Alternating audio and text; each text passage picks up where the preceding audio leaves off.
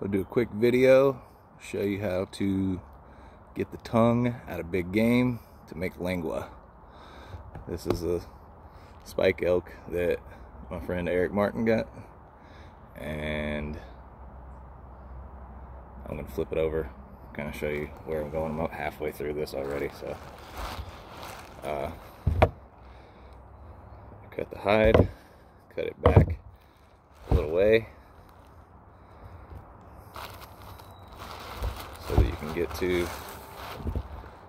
Defined jawbone mandibles. And then cut both sides at an angle towards the the bone to remove the fat layers and separate the webbing under the bottom of the, the tongue. And then get up into its mouth. Pull the tongue out from the front.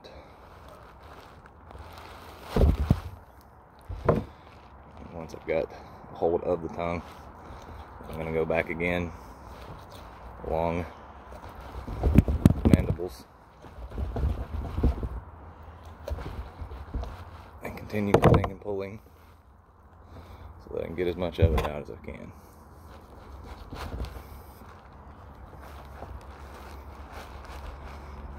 A lot of the meat is going to be on the tail end of this. If you just reach in and grab the tongue, you're not going to get all of it.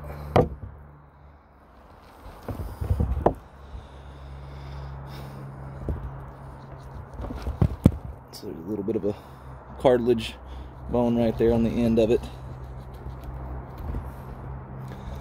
I'll cut back from there.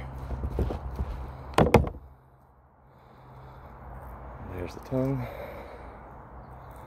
You see this part in the back, if you just reach in and grab the tongue and cut it, you're gonna get that much and you're gonna miss most of it. So in order to get all of this out, you have to go in from the bottom of the bone along the mandibles.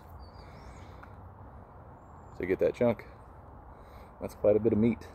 It's like the size of my forearm. Thanks for watching.